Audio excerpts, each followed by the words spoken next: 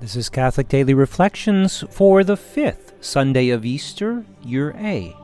Today's reflection is entitled The Only Way to Salvation. I am the way and the truth and the life. No one comes to the Father except through me. Are you saved? Hopefully, the answer to this is yes in three ways. You were saved by grace through baptism. You continue to be saved by God's grace and mercy as you freely choose to follow Him.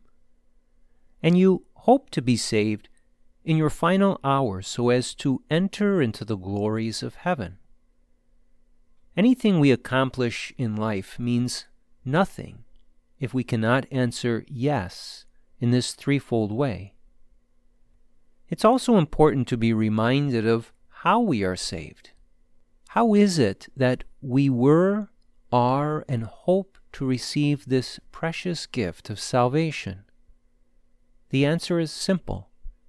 Through the life, death, and resurrection of Jesus Christ, our one and only way to the Father.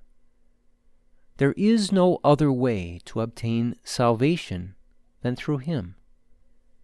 Sometimes we can fall into the trap of thinking that we achieve salvation by simply being good. In other words, do your good works save you? The proper answer is both yes and no.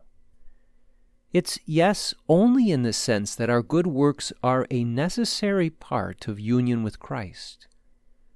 Without Him, we can do nothing good. But if we have accepted Christ into our life, and thus, if we are on the road to salvation, then good works will be necessarily present in our life. But the answer is also no in the sense that Jesus and Jesus alone is the only Savior. We cannot save ourselves, no matter how hard we try to be good. This discussion is especially familiar among our evangelical Christian brothers and sisters, but it's a conversation we should be quite familiar with also. At the heart of this conversation is the person of Jesus Christ. He and He alone must be the central focus of our lives, and we must see Him as the way, the truth, and the life. He is the only way to heaven. He is the fullness of the truth we must believe, and He is the life that we are called to live and is the source of this new life of grace. Reflect today upon the central and singular role of Jesus in your life. Without Him, you are nothing, but with Him, you obtain the life of perfect fulfillment. Choose Him in a very personal and concrete way this day as your Lord and Savior. Humbly admit that you are nothing without Him.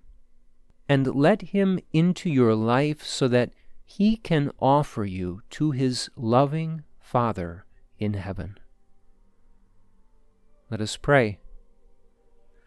My Lord and my Savior, I say yes to you this day and accept you into my life as my Lord and Savior. I thank you for the gift of baptism, which began my life of grace, and I renew my choice to follow you this day so that you may enter more fully into my life. As you enter into my life, please offer me to the Father in heaven May all my actions be directed by you so that I may be an eternal offering with you, dear Jesus. Jesus, I trust in you.